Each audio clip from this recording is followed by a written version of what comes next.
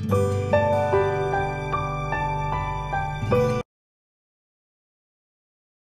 everyone, welcome to my YouTube channel Easy ECET Tutorials. In today's video, we are going to see how to get 100% best rank in ECET without coaching. First important thing is prepare short notes while reading which is very important. Try to complete the entire syllabus one month prior the exam and do practice previous model papers.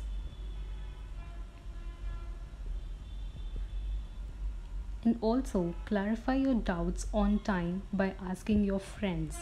Try to appear for certain online exams being conducted by different coaching institutes.